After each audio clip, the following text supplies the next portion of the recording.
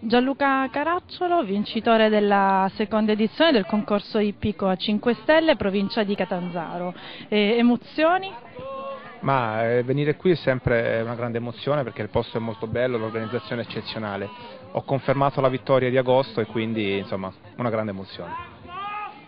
Altri progetti in questi? Uh, ma parlavamo ieri con il presidente Cardona, purtroppo eh, di posti così belli al sud non ce ne sono e quindi dobbiamo accontentarci un po' di questi pochi eventi che giustamente qui riescono a fare quindi ci spostiamo verso il nord, Cattolica, Arezzo e Manerbio.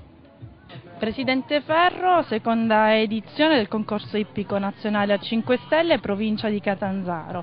Un montepremi da 40.000 euro, 200 cavalieri iscritti. Insomma un'economia che si muove creando un indotto economico non indifferente, considerando non solo una crisi economica nazionale ma anche dell'ippica stessa che viene rilanciata e promossa da una provincia del sud Italia.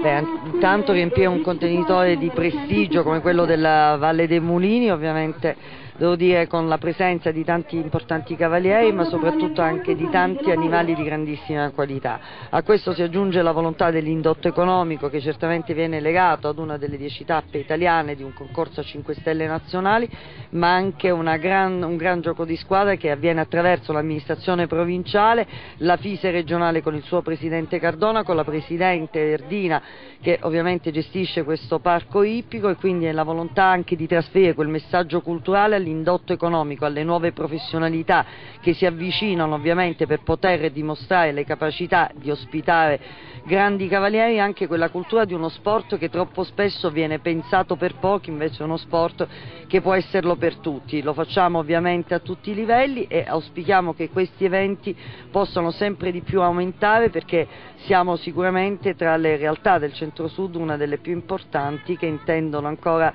perseguire ulteriori traguardi.